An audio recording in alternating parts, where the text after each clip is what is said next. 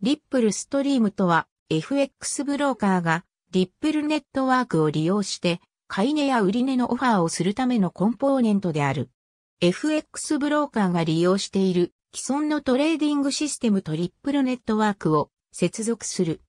リップルストリームの利用者は、リップルネットワークを利用して国際送金業務を実施している銀行の FX 取引担当者、または先の銀行外部の FX ブローカーである。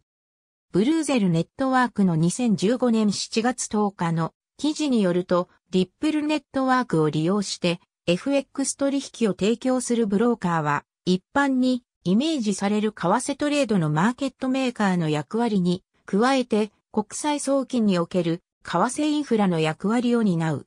送金支持者や金融機関は、このマーケットメーカーの参加によって、リアルタイムでクロス通貨の決済ができるようになると考えられている。